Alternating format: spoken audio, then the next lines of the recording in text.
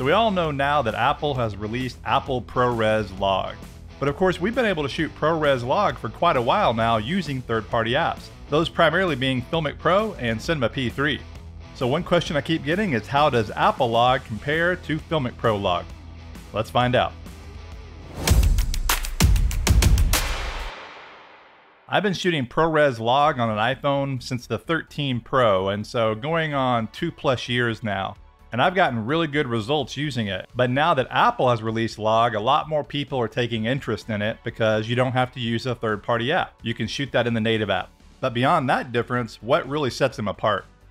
Now here's some test footage I did, and this is not anything exciting. This is just a couple different scenarios. And the first one is me inside a dimly lit room and I've got the white balance locked to 5600.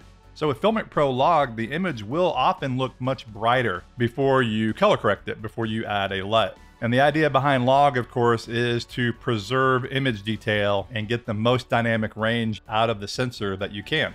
Now here it is with the correction LUT, and so this is coming back down to where I was imagining it when I shot it, but it's still not quite there. So from there, I did color grading. Now this is what it looked more like to my eye when I was shooting the shot.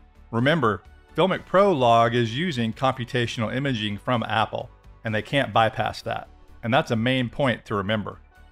Now here's Apple Log, and I used the Blackmagic app so I could lock the white balance, again at 5600 Kelvin. So if you ever shot log on a traditional camera, you'll instantly see that this log looks like a traditional camera's log, which of course is a good thing. And when you put the correction LUT on it, it instantly looks very similar to how I saw it when I was shooting. And depending on what you're doing, you might not need to color correct any further from there. But in this situation, I wanted to because I wanted it to be a little bit warmer. And so then here is the color graded version of that shot.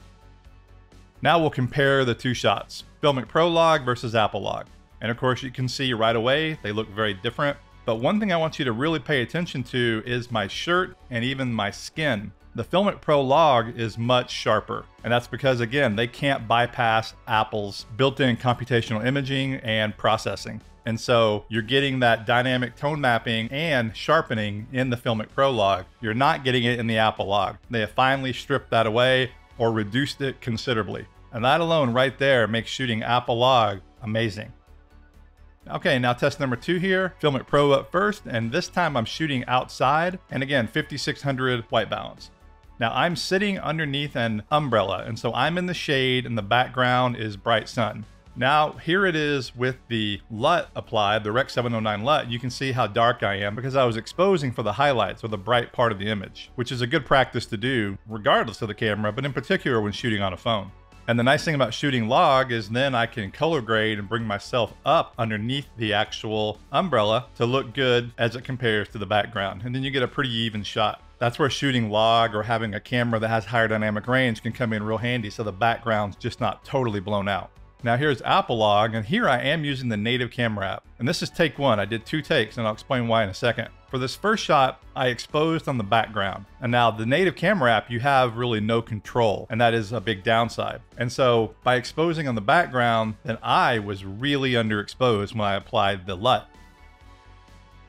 I could still bring it up though, and it looks pretty good, although I feel like I look a little bit muddy, and so it's not the best looking image. The contrast feels a little funky, and so because of that, I shot it again, I did a take two. Now in take two, I averaged the two, so I exposed for the shadows, but also didn't let the background go overexposed. And so the background gets a little bit hot when I apply the LUT, but then I look pretty good as far as the exposure, etc. But then when I do the grade, I am able to bring the background down and bring myself up to again make a nice overall image.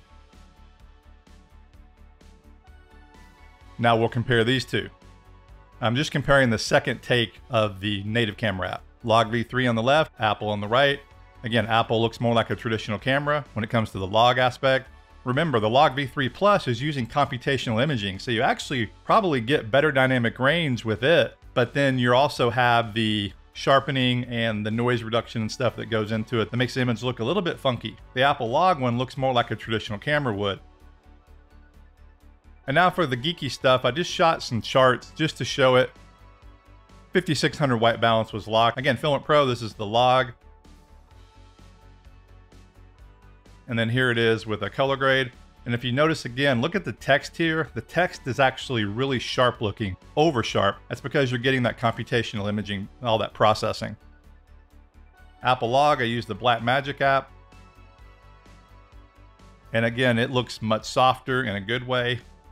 This is a traditional log image. And then if you notice the text itself almost looks kind of soft, but not soft in a bad way. It's a pleasing softness, which again, when you're doing something especially more cinematic, that's what you want. And then I did the same thing with the native camera app, but it's an auto white balance. But fortunately, I was using 5600 balance lights, and so it matched pretty well to the Blackmagic app. Again, the image is a little bit softer in a good way, and the colors though look really good. So if you have an iPhone 15 Pro or Pro Max, I would only shoot Apple Log now. I wouldn't shoot Filmic Pro Log or Cinema P3 Log, except if you want to do it in HEVC, because you can't do that in the native app. You can only shoot ProRes HQ. Now in the Blackmagic app, you can choose HEVC or H.264 and shoot Apple Log. But in the native app, you get ProRes HQ only, and those files are huge. That's another thing nice about the Blackmagic app. You can choose different flavors of ProRes. And the other reason, of course, you would use Filmic Pro or Cinema P3 is if you don't have an iPhone 15, which is probably a lot of you watching this video. So that's a great option to have for people with previous generation phones.